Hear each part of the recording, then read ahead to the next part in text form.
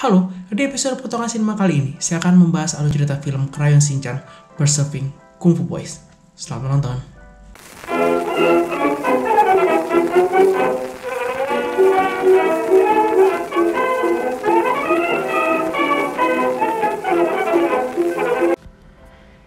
Di Cina, saat zaman kerajaan dulu yang penuh dengan peperangan, ada seorang pendekar sakti yang menyukai perdamaian.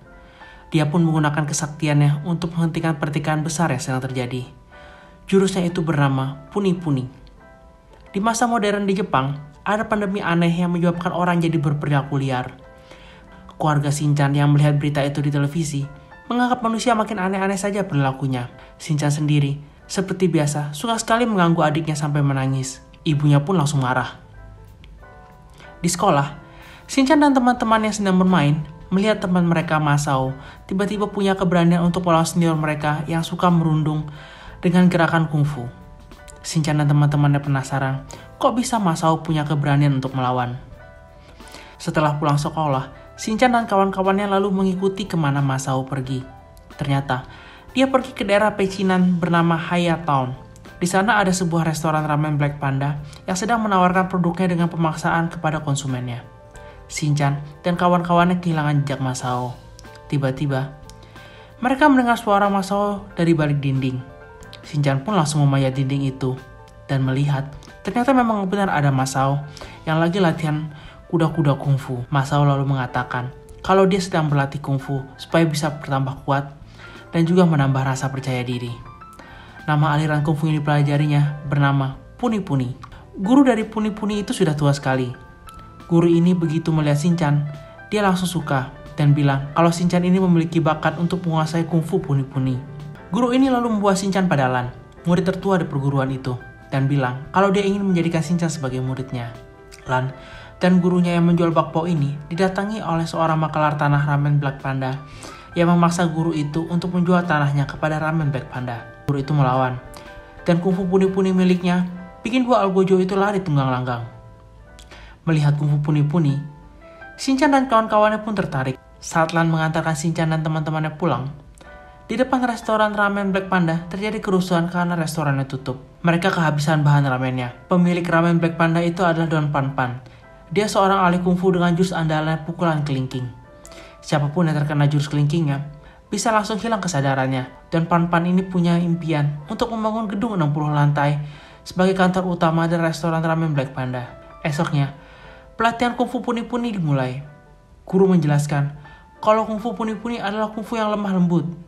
Kungfu itu berasal dari Cina dan punya 9 jurus andalan. Shinchan yang ternyata berbakat dengan cepat menguasai jurus-jurus yang diajarkan. Setelah berlatih, mereka lalu membersihkan gudang dan tanpa sengaja menemukan kamar guru mereka. Di kamar itu, sang guru ternyata menyimpan majalah dewasa. Shinchan langsung melihat foto-foto di majalah itu. Mereka lalu ke kamar Lan yang sedang menyelidiki ramen Black Panda.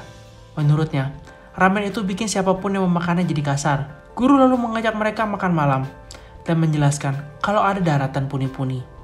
Tiba-tiba, kelompok ramen Black Panda datang menyerang mereka.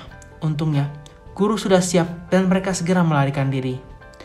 Tapi belum jauh mereka pergi, sudah ditahan sama seorang pengamen. Dan mereka terhenti pelariannya. Don Pan Pan pun berhasil mengejar mereka. Guru akhirnya berhadapan dengan Don Pan Pan.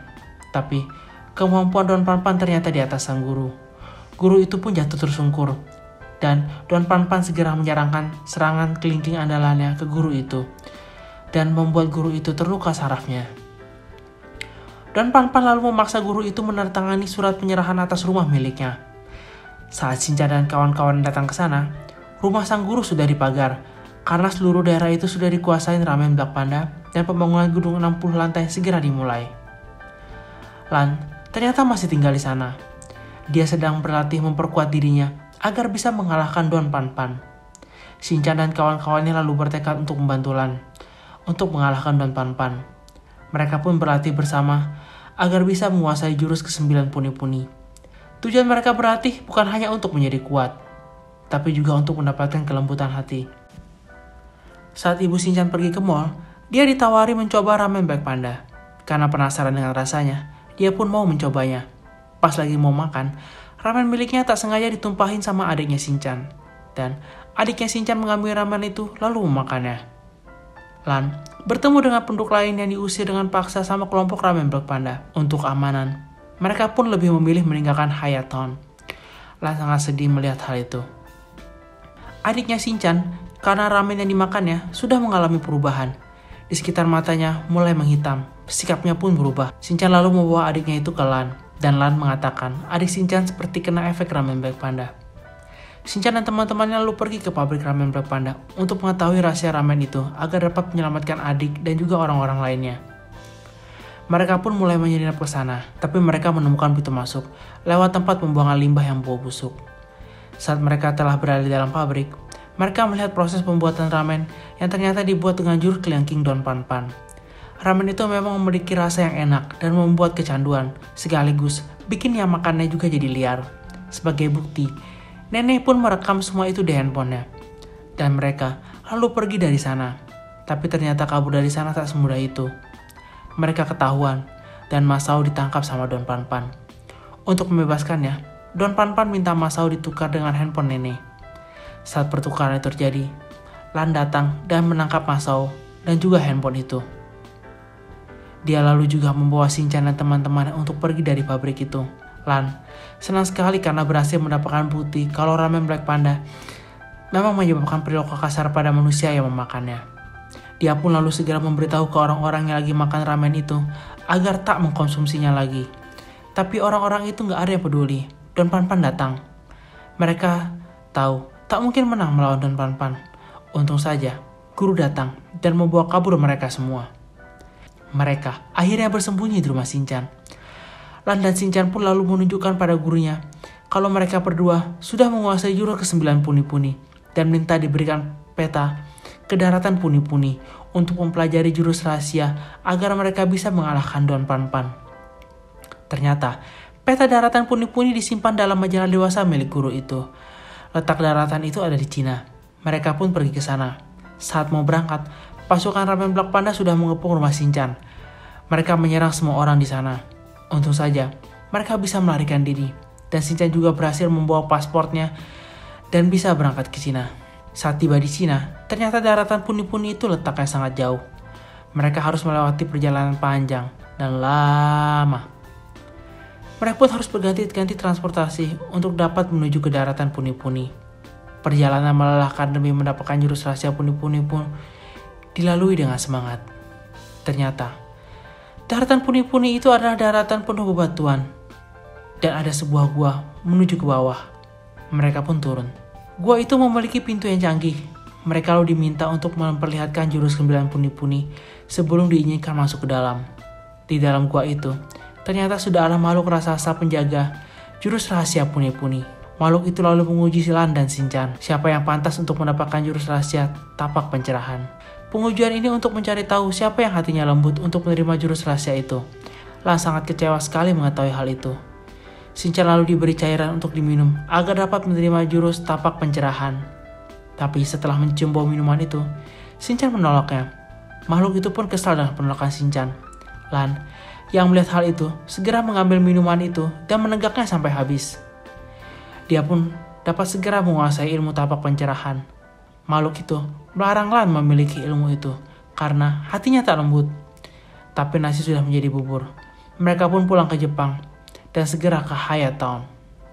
Saat mereka tiba di sana, sebagian besar Hayatown sudah rata dengan tanah. Bangunan 60 lantai milik Ramen Black Panda sudah hampir selesai. Lan pun pergi ke gedung itu untuk menghabisi Don Pan Pan. Dengan kemampuannya sekarang, dia sangat yakin kalau dapat mengalahkan Don Pan Pan. Jurus tapak pencerahan itu memang sakti mandraguna. Semua anak buah dan Pan-Pan dapat dikalahkan dengan mudah oleh Lan. Mereka dibuat tak berkutik sama Lan. Dan Pan-Pan yang mengetahui kekuatan Lan, akhirnya juga memakai ilmu terkuatnya.